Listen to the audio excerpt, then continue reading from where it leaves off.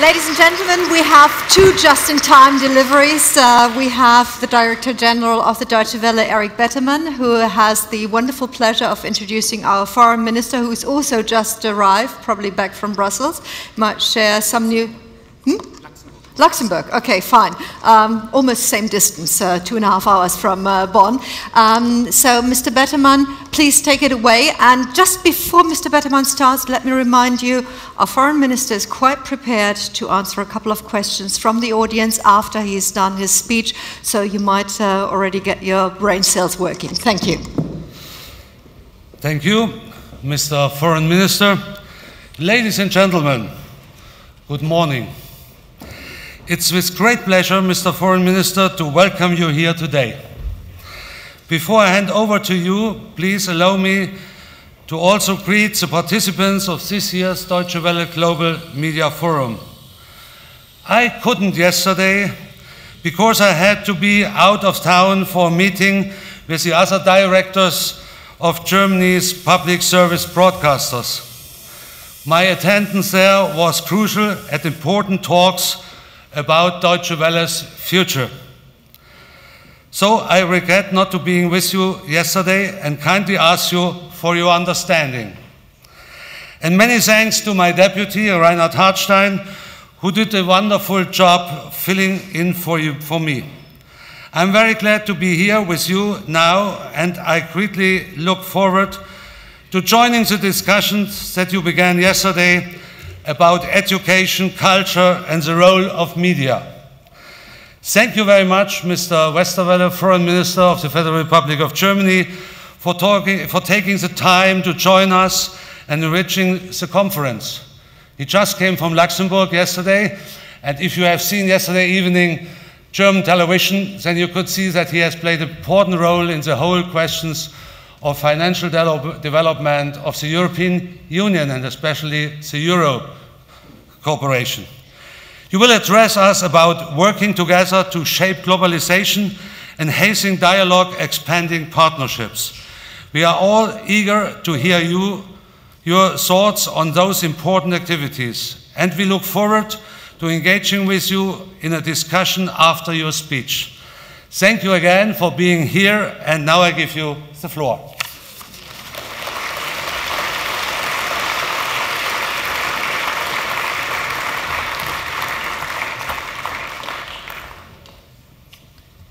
Mr. Betterman, Excellencies, ladies and gentlemen, first of all, I would like to welcome you in the Federal Republic uh, of Germany, very officially. And I want to add a personal word, personal remark. Uh, you're sitting here in a place where I worked for many years as Member of Parliament. This was my chair. and uh, I'm a bit disappointed that uh, the regime decided that I have to sit next to my chair. Uh, I wished in the years before, when I worked here, this would have been my chair. because um, you see, this is, of course, the former parliamentary and uh, session building here, beautiful building. And this is where the government have been. This is where the second chamber was represented, and this is where the MPs had to work or had the privilege to work. And I have to uh, say, you are sitting there at the left party, so be careful. Ladies and gentlemen, I would also invite you not only to participate uh, this meeting and this uh, important discussion. I really welcome this initiative.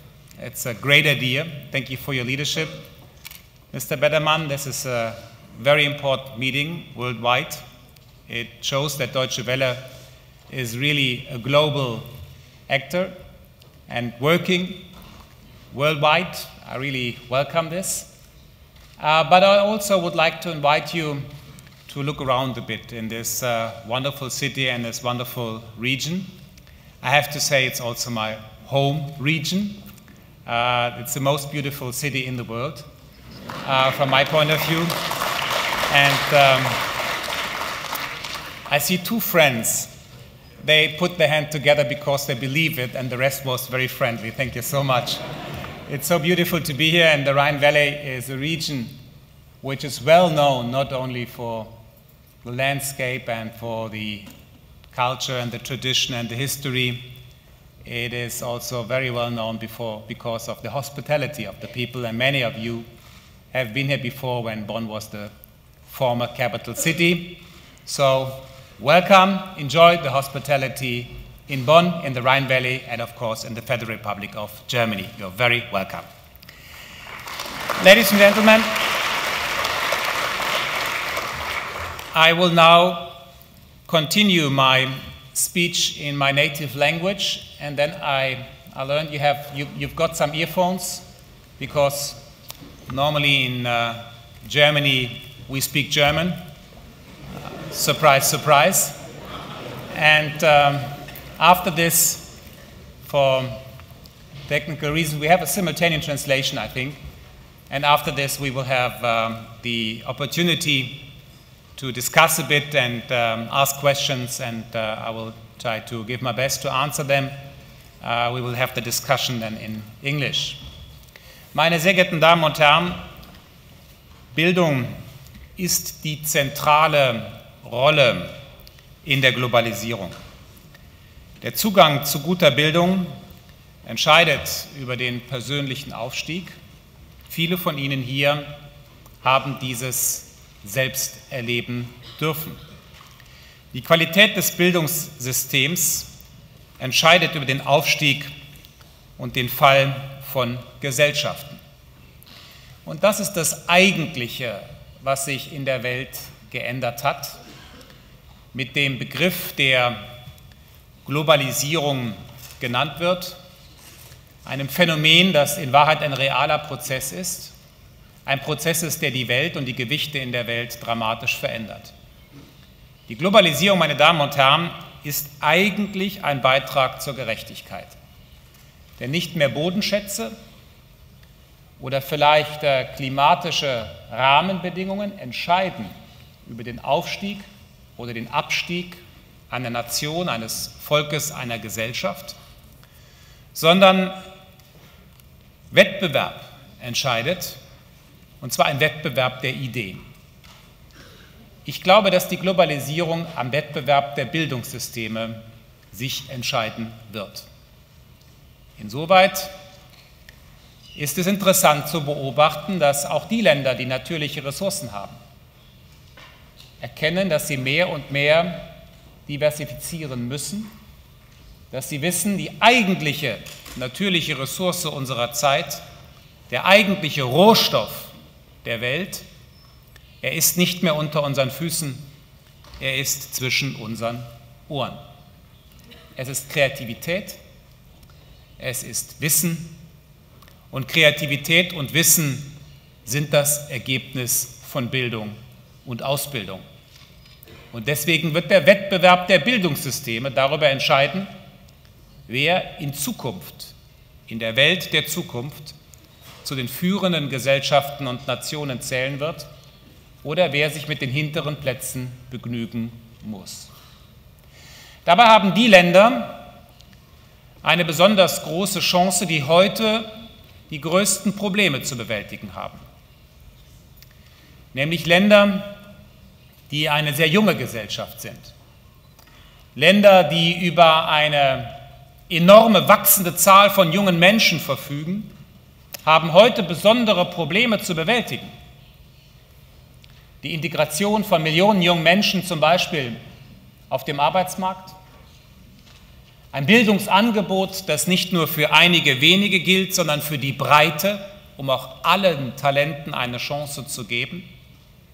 In Zeiten der Globalisierung kann es sich niemand leisten, auch nur ein einziges Talent zu übersehen und es nicht zu fördern.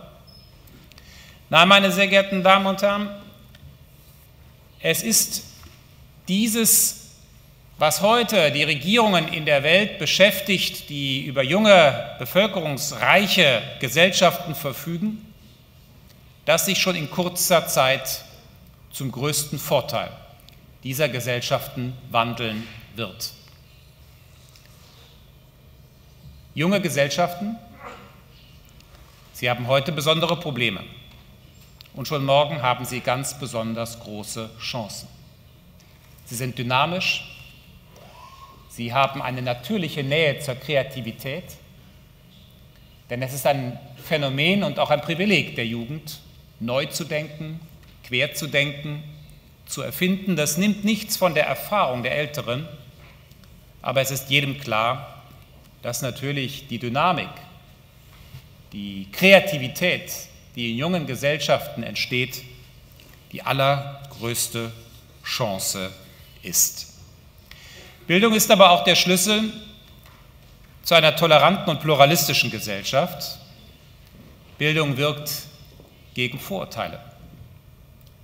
Bildung macht auch stark gegen Diskriminierung.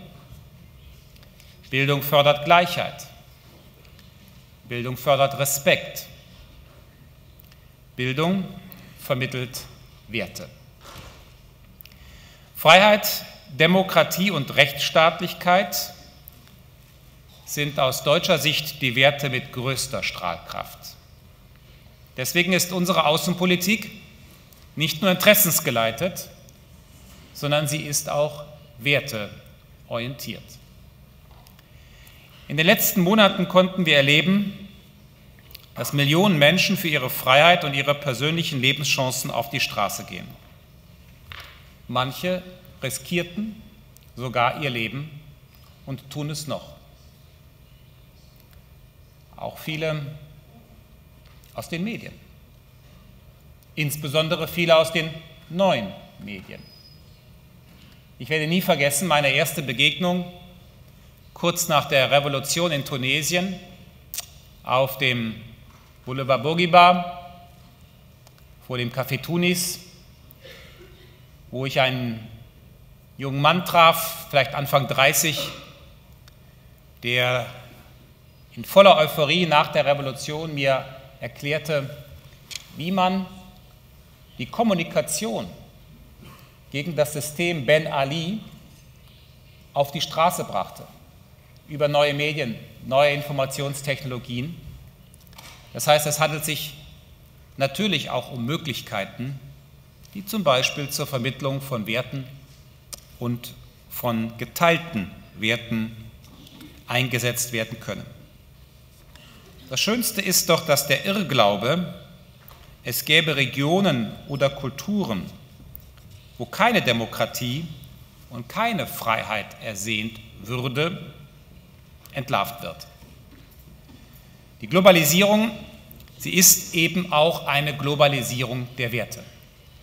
Es ist eine der oberflächlichsten und törichtsten Analysen, dass die Globalisierung ein ausschließlich ökonomischer Prozess sei. Es globalisieren sich nicht nur Wettbewerb, Handel, Import, Export, der Austausch von Gütern und Dienstleistungen. Es globalisieren sich Werte, manchmal auch Lebensstile, aber vor allen Dingen Werte. Und meine Damen und Herren, wir können heute erkennen, wie groß die Kraft und der Wunsch nach Freiheit ist. Wir wollen dabei helfen, politischen und gesellschaftlichen Wandel in starken Zivilgesellschaften zu verankern. Prozesse der Öffnung und Demokratisierung unterstützen wir tatkräftig. Natürlich wissen wir, dass unser Einfluss begrenzt ist, aber dennoch werden wir nicht nachlassen, unsere Werte zu vertreten. Wir scheren nicht die Länder über einen Kamm, sondern wir machen unseren Partnern maßgeschneiderte Angebote. Die auswärtige Kultur- und Bildungspolitik ist zentraler Bestandteil unserer werteorientierten Außenpolitik. Meine Damen und Herren, in Tunesien und in Ägypten haben wir die Bildungs-, Kultur- und Medieninitiative Platz der Zukunft gestartet, benannt nach dem Tahrirplatz, der Symbol für die Hoffnungen und Menschen der Menschen und die Kraft von Zivilgesellschaften geworden ist. Mit der Deutschen Welle unterstützen wir den Aufbau lokaler Online-Medien und Journalismusfortbildungen. Freie Medien sind die Voraussetzung für die Willensbildung und damit Grundlage für die Zivilgesellschaften. Gelegentlich wird Pressefreiheit als die Freiheit von einigen Privilegierten diskriminiert. In Wahrheit ist Pressefreiheit und Meinungsfreiheit aus demselben Holz geschnitzt, nämlich desselben Baumes der Freiheit. Pressefreiheit und Meinungsfreiheit, das sind zwei Seiten derselben Medaille. Es sind die Früchte vom selben Baum. Meine Damen und Herren, gemeinsam mit dem DAAD unterstützen wir das Masterprogramm Good Governance, zum Beispiel in Afghanistan an der Universität Erfurt. Wir bilden künftige afghanische Führungskräfte in verschiedensten Bereichen aus. In Myanmar wollen wir beispielsweise den politischen Wandel durch die Ansiedlung eines Goethe-Instituts begleiten. Mit insgesamt 150 Einrichtungen fördert das Goethe-Institut den kulturellen und gesellschaftlichen Austausch in über 90 Ländern. Glauben Sie nicht, dass ich das sage, um ein besonders gutes Licht auf Deutschland scheinen zu lassen, sondern ich sage das in Anwesenheit von so vielen ehrenwerten Gästen, weil ich der Überzeugung bin, dass auch wir Deutsche all dies lernen mussten. Wir sind hier an einem geschichtsträchtigen Ort. Wenn wir über Werte reden, wie Freiheit, Rechtsstaatlichkeit, gute Regierungsführung, religiöse Pluralität, Toleranz, dann, meine sehr geehrten Damen und Herren, nicht mit dem erhobenen Zeigefinger, sondern in der sicheren Erkenntnis, dass wir erst durch das dunkelste Kapitel unserer Geschichte gegangen sind, bevor wir in der Lage waren, eine so freiheitliche Verfassung zu schaffen und ein so gutes Staatsgebäude zu errichten. Meine Damen und Herren, wir leben heute von Offenheit und internationaler Vernetzung. Es geht uns nicht nur um gute Regierungskontakte, es geht uns um einen Austausch der Gesellschaften. Es geht uns nicht nur darum, dass die Politiker und Diplomaten sich gut verstehen. Es geht uns darum, dass die Gesellschaften einen Austausch haben und dass sie sich miteinander vernetzen. Für diejenigen, die von außerhalb Europas kommen, ist das schwer vorstellbar. Aber noch die Generation meiner Eltern, beide sind Jahrgang 1930, glücklicherweise auch noch beide am Leben. Die Generation meiner Eltern hat es noch erlebt, wie heute unser bester Freund, unser engster Partner in der Welt als Erzfeind den jungen Schülern in den 30er und 40er Jahren vorgestellt worden ist. Frankreich und Deutschland, sie standen sich unversöhnlich gegenüber in den beiden Weltkriegen des letzten Jahrhunderts. Die Kinder wurden indoktriniert in Deutschland. Und das ist weniger als ein Menschenleben her. Das soll all denen Mut geben, die selber in Regionen leben, wo große Spannungen ihr Leben beeinflussen. Es soll ihnen aber auch Kraft geben, für die Ausdauer auf Verständigung und Vermittlung zu setzen. Heute mag es für den einen oder anderen unvorstellbar sein, mit diesem oder mit jenem Nachbarland in enger Freundschaft verbunden zu sein. Ich sage es Ihnen, es ist möglich und wir sollten daran arbeiten. Und wenn wir kräftig daran arbeiten, wird das alles zu Ihren Lebzeiten Realität werden. Was uns in Europa gelungen ist, bei all den Schwierigkeiten, die wir natürlich ökonomisch und fiskalpolitisch derzeit meistern müssen, das ist auch woanders möglich. Das ist kein europäisches Privileg, sondern es ist möglich. Meine Damen und Herren, die Gewichte auf der Welt verschieben sich. Es entstehen neue Kraftzentren in der Welt. in Asien, in Lateinamerika und anderswo.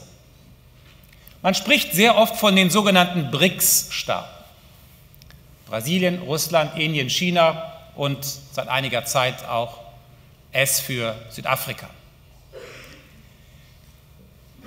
Diese Länder waren zu meiner Jugend, als ich hier in Bonn zur Schule gegangen bin, in den 70er und 80er Jahren klassische Entwicklungsländer bis auf eine Ausnahme. Und heute kann man sagen, hängt die Weltkonjunktur zum Beispiel von Wachstum dieser BRICS-Staaten entscheidend ab.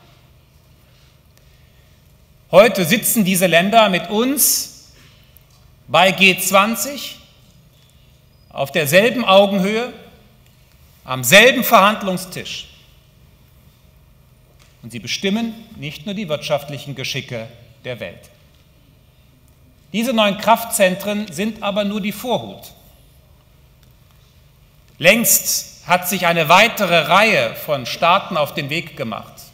Man spricht von den Next Eleven, die nächsten elf, die sich auf den Weg gemacht haben, ebenfalls in die erste Liga aufzusteigen. Meine Damen und Herren, wir freuen uns über diese beeindruckenden Erfolgsgeschichten. Wir wollen aber auch, dass die Politik in der Welt sich darauf einlässt. Der Anteil Europas an der Weltbevölkerung schrumpft. China ist zur zweitgrößten Volkswirtschaft der Welt geworden. Und Brasilien hat Großbritannien überholt. Das Pro-Kopf-Einkommen der Schwellenländer Asiens hat sich seit 1999 verdreifacht. Sogenannte Schwellenländer besitzen heute mehr Devisenreserven als die Industrieländer. Sie erzeugen den Großteil des Wirtschaftswachstums auf der Welt. Und aus dieser wirtschaftlichen Erfolgsgeschichte leiten sie natürlich auch den politischen Gestaltungsanspruch ab. Das ist weit mehr als Wirtschaft. Es ist eine Veränderung der politischen Architektur unserer Welt. Das steckt dahinter, wenn Deutschland auf eine Reform der Vereinten Nationen dringt. Das ist der eigentliche Hintergrund, warum wir der Überzeugung sind, dass die internationalen Gremien die Welt von heute und morgen widerspiegeln müssen und nicht die Welt, wie sie war nach Ende des Zweiten Weltkriegs. Ganz Lateinamerika ist nicht repräsentiert ständig im Sicherheitsrat der Vereinten Nationen, ein gesamter Kontinent. Ganz Afrika ist nicht permanent repräsentiert im Sicherheitsrat der Vereinten Nationen, ein ganzer Kontinent. Ganz Asien ist mit einem einzigen Sitz im Sicherheitsrat der Vereinten Nationen vertreten, ständig. Und das alleine zeigt uns, dass dieses das Echo der Vergangenheit ist, aber natürlich nichts mit der politischen Architektur von heute und von morgen zu tun hat. Wir müssen das ändern, wenn wir internationale Organisationen haben wollen mit wirklicher Autorität in der Welt. Das ist der Hintergrund, warum Sie gelegentlich lesen, dass Deutschland gemeinsam mit Partnern auf eine Reform der Vereinten Nationen drängt. Meine Damen und Herren, die Globalisierung bietet große Chancen, vor allen Dingen beim Wissenstransfer. Und wer meint, dass dieser Wissenstransfer in alten Bahnen läuft, von Nord nach Süd oder von West nach Ost, der irrt. Auf dem afrikanischen Kontinent wird uns gerade vorgemacht, wie mobile Technologien genutzt werden können. Das sogenannte SMS-Banking ermöglicht breiten Gesellschaftsschichten Zugang zum Bankensystem und fördert wirtschaftliche Entwicklung. Globalisierung heißt aber auch vor allen Dingen voneinander lernen. Den wissenschaftlichen Austausch fördern wir durch die Alexander von Humboldt Stiftung und den DAAD, der jährlich 40.000 Stipendien vergibt. Auch die Schülerinnen und Schüler der deutschen Schulen bleiben unserem Land oftmals ein Leben lang herzlich verbunden. Sie sind ausgezeichnete Botschafter, in der Regel dann beider Länder. Meine Damen und Herren, was wir tun können, um uns international zu vernetzen, das werden wir tun. Dazu zählt auch eine moderne Visapolitik. Seitdem ich Außenminister bin, arbeite ich daran, dass eine gewisse prohibitive Grundhaltung in der europäischen Visapolitik Schritt für Schritt überwunden wird. Wenn wir erkennen, dass die neuen Gestaltungsmächte unsere Partner der Zukunft sind, dann sind wir klug beraten, uns rechtzeitig in strategische Partnerschaften mit diesen neuen Kraftzentren der Welt zu begeben. Es ist nicht Altruismus, es ist nationale Interessenswahrnehmung. Wenn ich sage, dass wir eine vernetztere, offenere Visapolitik brauchen, das ist, wie Sie sich vorstellen können, nicht leicht, das ist hochkontrovers, auch bei uns in unserem eigenen Lande, aber es ist notwendig. Und es gilt nicht nur für Geschäftsleute, es gilt vor allen Dingen für die jungen Menschen. Jedes Mal, wenn ich ähm, in Ländern zu Gast bin, und ich bin in den letzten beiden Jahren in fast 100 Ländern zu Gast gewesen, versuche ich mit jungen Menschen Kontakt aufzunehmen, Schulen zu besuchen, Schüler zu besuchen, zuletzt in Indien, letzte Woche. Ich bin am Wochenende aus Indien und Bangladesch zurückgekommen und wenn man dort mit den Schülern spricht, wie groß die Neugierde auf Deutschland ist, wie groß das Interesse ist, auch zum Beispiel die deutsche Sprache zu lernen, natürlich auch, um selber sich neue Chancen zu eröffnen, dann ist das eben im gegenseitigen Interesse, auch in unserem eigenen Interesse. Deswegen auch Schüler, Ausbildung, Jugendaustausch, Studentenaustausch miteinander zu vernetzen, ist ein Kernanliegen einer klugen, interessens- und wertegeleiteten Politik, meine sehr geehrten Damen und Herren. Aber wenn wir hier in diesem Raum sitzen, so wird der überwiegende Anteil der Anwesenden Bildung mit akademischer Bildung in Verbindung bringen. Das ist zu wenig. Berufliche Bildung ist eine der Schlüsselfragen in Zeiten der Globalisierung. Vocational Training ist etwas, was wir in der Welt anbieten, wofür wir werben, wo großes Interesse auch an den deutschen Erfahrungen besteht. Also reduzieren wir die Bildungsfrage, die Kultur der Bildung nicht nur auf den akademischen Bereich, den universitären Bereich, so sehr dass ihr Leben mutmaßlich hier bestimmt haben mag, sondern erkennen wir, dass die Bildung in der Breite, die berufliche Bildung, vermutlich noch entscheidender sein wird für den Erfolg der Gesellschaften weltweit wenn wir allein an die Überwindung von Jugendarbeitslosigkeit denken. Meine Damen und Herren, ich will schließen mit einem Wort zu Europa. Natürlich sind Sie über die Entwicklung in Europa und diese bedeutende Woche im Bilde und Sie werden viele Fragen haben, auch wie wir in Europa die Schuldenkrise überwinden wollen und überwinden werden. Das können wir auch gerne in der Diskussion dann weiter ansprechen. Ich will Ihnen nur eines vorab sagen.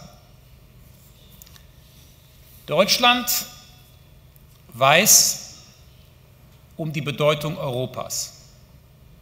Und das ist nicht nur eine Haltung der Regierung. Wir Deutsche wissen, dass Europa nicht nur die Antwort auf das dunkelste Kapitel unserer Geschichte ist, es ist auch die Antwort auf die neuen Herausforderungen in Zeiten der Globalisierung. Alleine ist jedes Land in Europa zu klein. Gemeinsam sind wir stark, auch uns als Kulturgemeinschaft zu behaupten. Mit unserer Vorstellung von Individualität, von Menschenwürde und der freien Entfaltung der Persönlichkeit. Für uns, meine Damen und Herren, steht es deswegen außerhalb jedes Zweifels, dass wir den Selbstbehauptungswillen Europas dokumentieren müssen und dokumentieren werden.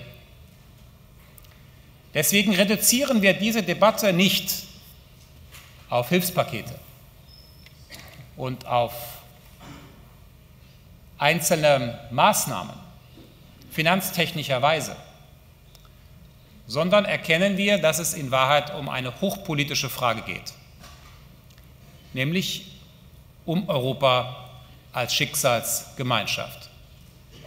Wir Europäer sind eine Schicksalsgemeinschaft, das haben wir gelernt, und das europäische Kooperationsmodell